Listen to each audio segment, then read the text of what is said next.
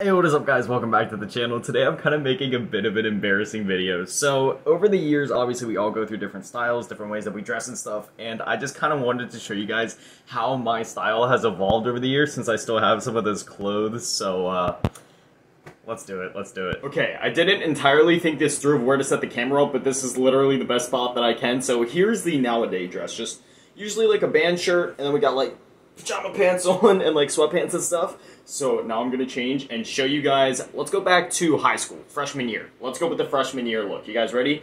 Three, two, one. Boom. So here's the freshman year look. I kept the same shirt on because literally like this, I've been wearing this since like eighth grade and this is probably what I would have worn anyway.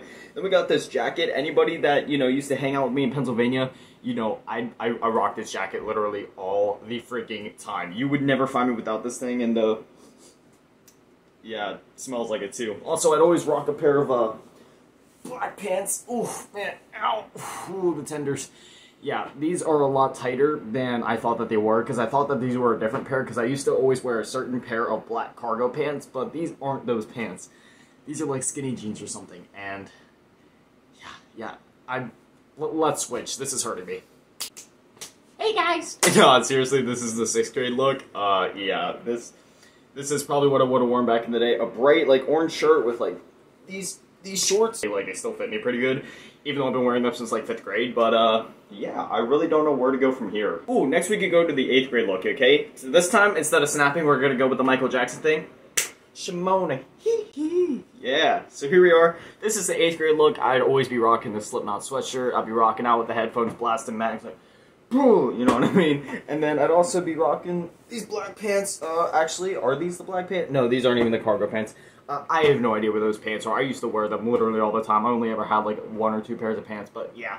I wore this outfit a lot in 8th grade. When it came to shoes, I was always just kind of rocking Walmart shoes. And if you're noticing a trend as the years go on, I ended up just wearing more and more black. To this day, I still basically only wear black besides like my, my pajama pants or my sweatpants. Ooh, let's go to the I broke my ankle look. This would have been sophomore or junior year, but I could only wear certain clothes since my ankle was, you know, broken. So this one I think we'll do a jump. All right, three, two, one.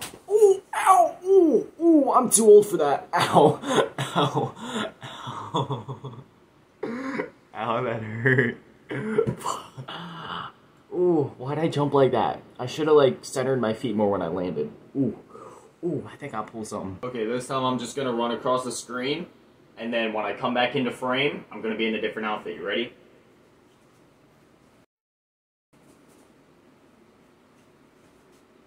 So yeah, when I broke my ankle, I started like obsessively wearing this sweatshirt. I have no idea why. I just always wore it, and then I was always rocking these Modern Warfare pants.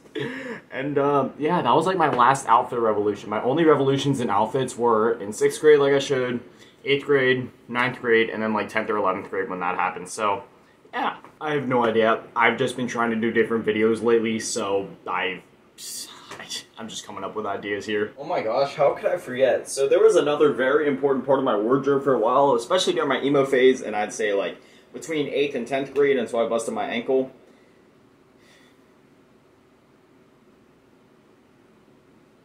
Yeah, it's not a phase, Mom. Anyways, I hope you guys enjoyed this kind of random video. Just like I said, I'm, I'm trying to expand, trying to do different stuff, and you guys have been liking the skits and IRL videos, so I figured I'd keep it up and hit you guys with something random again. As always, a shout out to the Patrons, Karma's Fave Grandma, and Low Booty Tap. I hope you guys have an amazing day. I love you all. Hopefully I'll see you guys back here tomorrow at 7. Thank you for watching.